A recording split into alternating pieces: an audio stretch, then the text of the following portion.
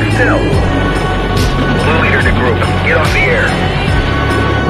Going by at 2 o'clock. What the hell is it?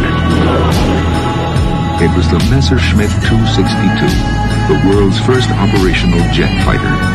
It flies 150 miles an hour faster than our fastest fighters.